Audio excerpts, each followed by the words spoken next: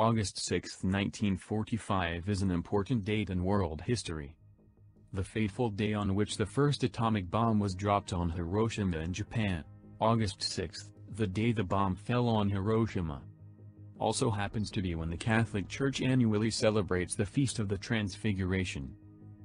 The New Testament tells how Jesus went up to a high mountain and was transfigured before his apostles Peter, James, and John. The book of Matthew reads in 17:2 His face shone like the sun, and his garments became a white as light. First hint, similar to what the residents of Hiroshima would have seen seconds after the bomb was dropped. It exploded with a blinding flash, creating a giant fireball, which vaporized practically everything in a radius of about a mile of the point of impact. It is estimated that up to 80,000 people were directly killed by the blast, and by the end of the year, that figure had climbed considerably higher, due to injuries and the effects of radiation. Over two-thirds of the city's buildings were completely destroyed. Everyone else within a radius of roughly 1.5 kilometers was reportedly killed instantly, and those outside the range died of radiation within days. But in the midst of this terrible carnage, something quite remarkable happened, there was a small community of Jesuit fathers living in a presbytery near the parish church, which was situated less than a mile away from detonation point, well within the radius of total devastation. and all eight members of this community escaped virtually unscathed from the effects of the bomb. Their presbytery remained standing, while the buildings all around, virtually as far as the eye could see, were flattened. Father Hubert Schiffer, a German Jesuit, was one of these survivors. Aged 30 at the time of the explosion, and who lived to the age of 63 in good health. The only physical harm to Father Schiffer was that he could feel a few pieces of glass in the back of his neck. In later years he traveled to speak of his experience. And this is his testimony as recorded in 1976. When all eight of the Jesuits were still alive. On August 6, 1945, after saying Mass, he had just sat down to breakfast when there was a bright flash of light. A terrific explosion filled the air with one bursting thunderstroke.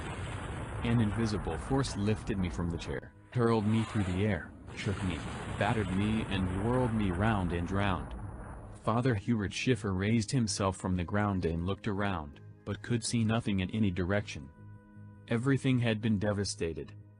After the conquest of the Americans, their army doctors and scientists explained to him that his body would begin to deteriorate because of the radiation. Many of the Japanese people had blisters and sores from the radiation. To the doctor's amazement, Father Schiffer's body contained no radiation or ill effects from the bomb. He had a few quite minor injuries. But nothing serious. And indeed later examinations at the hands of American Army doctors, and scientists showed that neither he nor his companions had suffered ill effects from radiation damage or the bomb.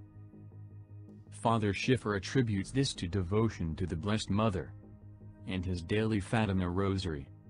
He feels that he received a protective shield from the Blessed Mother which protected him from all radiation and ill effects.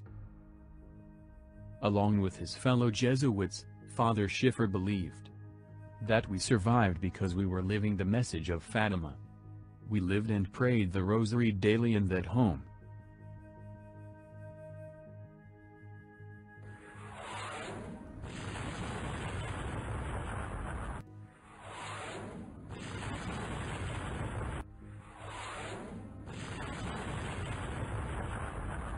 But in a strange parallel to what happened at Hiroshima, the Franciscan friary established by Saint Maximilian Kolbe in Nagasaki before the war, was likewise unaffected by the bomb which fell there. Saint Maximilian, who is well known for his devotion to the Blessed Virgin, had decided to go against the advice he had been given to build his friary in a certain location. When the bomb was dropped, the friary was protected from the force of the bomb so both at Hiroshima and Nagasaki. we can see Mary's protective hand at work. Whether the world has war or peace depends on the practice of this devotion, along with the consecration to the Immaculate Heart of Mary. This is why I desire its propagation so ardently. Especially because this is also the will of our dear Mother in Heaven. Sister Lucy on March 19, 1939 During her July 1917 apparition at Fatima, Our Lady said to Lucia, I shall come to ask, that on the first Saturday of every month, communions of reparation be made in atonement for the sins of the world. On December 10, 1925, Our Blessed Mother again appeared to Lucia at Pontevedra, Spain. Our Lady then spoke, See my daughter, my heart encircled by thorns with which ungrateful men pierce it at every moment by their blasphemies and ingratitude. Do you, at least, strive to console me. Tell them that I promise to assist at the hour of death. With the graces necessary for salvation all those who, in order to make reparation to me, on the first Saturday of five successive months, go to confession, receive Holy Communion, say five decades of the Rosary, and keep me company for a quarter of an hour. Meditating on the 15 mysteries of the Rosary.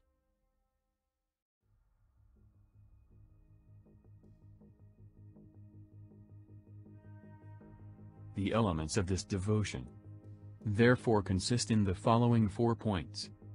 All of which must be offered in reparation to the Immaculate Heart of Mary.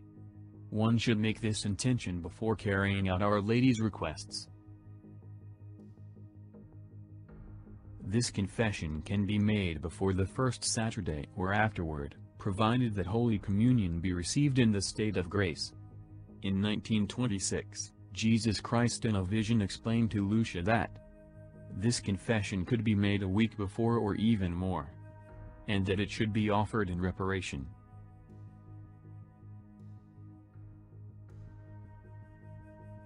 Before receiving Holy Communion, it is likewise necessary to offer it in reparation to Our Lady.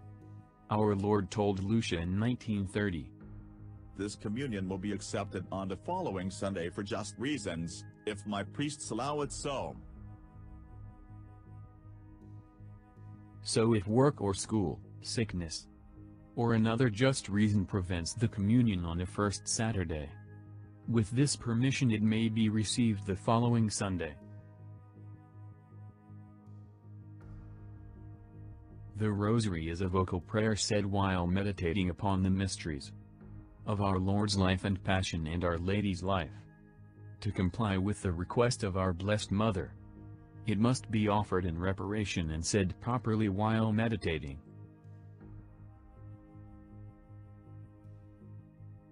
Also offered in reparation. The meditation may embrace one or more mysteries, it may include all. Taken together or separately. This meditation should be the richest of any meditation.